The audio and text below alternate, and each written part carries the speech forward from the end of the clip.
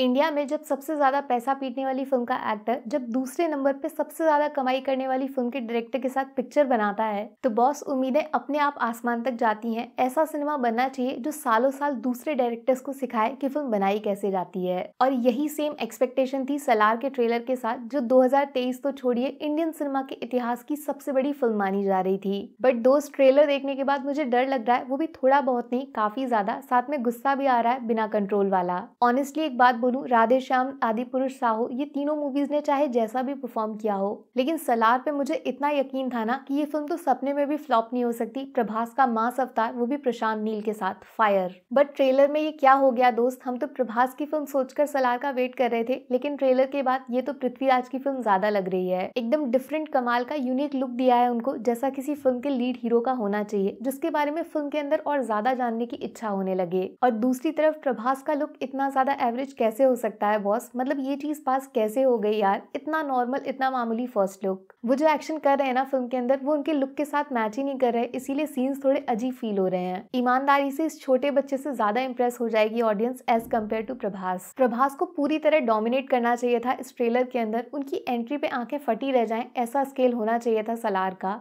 Boss इससे ज़्यादा impressive तो फ़िल्म के पोस्टर्स थे, जिनको देखकर वाकई लग रहा था कि प्रभास खून की नदियाँ बहा देंगे फ़िल्म के अंदर। मोस्ट वायलेंट मैन बोला जा रहा था इनको आज से पहले, लेकिन ट्रेलर रिलीज़ के टाइम पे इमोशन शब्द का इस्तेमाल करके सलार के मेकर्स ने सबको चूना लगा दिया। हमें प्यार, दोस्ती, इश्क, मोहब्बत चाहिए, लेकिन बैकग्राउंड में सामने से तो आपकी फ़िल्म एक्शन थ्रिलर होनी चाहिए, जैसे सपने आपने पब्लिक को दिखाए हैं। स्टोरी बेस्ड सिनेमा बना रहे हो, अच्छी बात है, बनना भी चाहिए, लेकिन प्रभास का इस्तेमाल होना चाहिए फ़िल्म को बड़ा बनाने के लिए। यहाँ तो ट्रेलर में उनका स्क्रीन प्रेजेंस एकदम ठंडा है, वो एक्सपेक्टेशन वो लेवल जो रॉकी भाई ने सेट किया है, उसका टेन परसेंट भी नहीं है ये सब। जिस सीन के साथ सलार का ट्रेलर एंड किया, उससे प्रभास की एंट्री होनी चाहिए थी, फिर धीरे धीरे ट्रेलर का लेवल और ऊपर उठना चाहिए था। सलार के ट्रेलर में इतना ज़्यादा डायलॉग्स का इस्तेमाल क्यों किया गया, ये बात मुझे अभी तक समझ नहीं आई है, सबसे गलत चीज़ है ये। मास सिनेमा बनाया जाता है प्रेजेंटेशन के दम पर, जिसमें प्रशांत नील से बड़ा चैंपियन कोई दूसरा डायरेक्टर है ही नहीं, मैं उन्हें क्या सिखाऊँगी? तो फिर आप अपने करियर की सबसे बड़ी फ़िल्म के ट्रेलर में इतना ज़्यादा बातचीत क्यों करवा रहे हो एक्शन दिखाओ ना यार, वो भी ऐसा जो कभी ना देखा हो।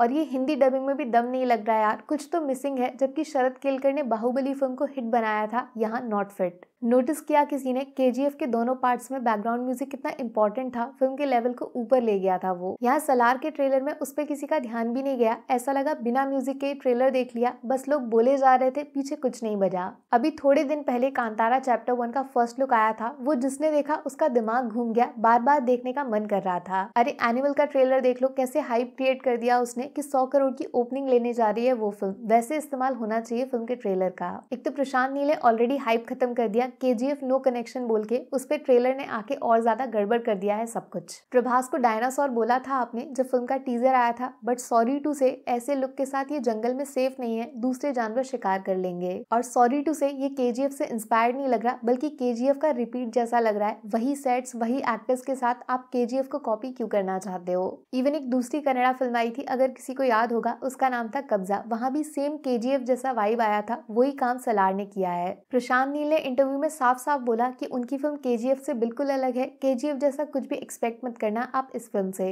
तो बॉस ट्रेलर में आप वही सेट्स वही थीम वही विजुअल्स क्यों दिखा रहे हो? और सोचो वहाँ पे मुँह से बातें किसको अच्छी लगेंगी? मशीन गन वगैरह लाओ। देखो बस एक चीज़, एक बहाना है जो सलार के ट्रेलर को बचा लेगा, वो ये कि फ़िल्म दो पार्ट्स में बनने जा रही है। तो हो सकता है इस पार्ट में प्रभास को कुर्सी तक पहुँचाया जाए धीरे धीरे राजा नहीं है वो, राजा बनने वाले हैं पार्ट टू के अंदर। तो क्या पता सलार टू में प्रभास एकदम मासी अवतार में घुस जाए, जो शायद के से भी ज़्यादा वॉयलेंट और खतरनाक दिखता होगा। अभी वो फीलिंग नहीं आई मुझे। लेकिन पार्ट टू तक जाने के लिए पार्ट वन को भी तो अच्छा बनना पड़ेगा ना? तभी तो हम सीक्वल देखने में इंटरेस्टेड होंगे। बना लोगे के जी एफ़ टू जैसा हाइप इस ट्रेलर से। बॉस सलार प्रभास के करियर के लिए सबसे बड़ा कम साबित होने वाली है। ऐसा आज ट्रेलर से पहले मुझे एक हज़ार परसेंट यकीन था। लेकिन अब कंफ्यूज हूँ मैं। अगर ये फ़िल्म भी प्रभास के लिए काम नहीं कर पाई तो बॉस 22 दिसंबर को थिएटर के अंदर बहुत सारे दिल टूटेंगे। ऑनेस्ट रिएक्शन सलार का ट्रेलर एवरेज है। इंडिया की सबसे बड़ी फ़िल्म वाला कोई लक्षण नहीं है इसमें बट नील बाबा पे भरोसा है फ़िल्म के लिए फिंगर्स क्रॉस्ड बाकी वीडियो में कुछ पसंद आया हो या फिर कुछ शिकायत करनी हो तो मैं आपको इंस्टाग्राम पे भी मिल जाऊँगी, वरना थोड़ा सा इंतज़ार करिए, मिलूँगी आपसे अगले वीडियो में. Take care bye bye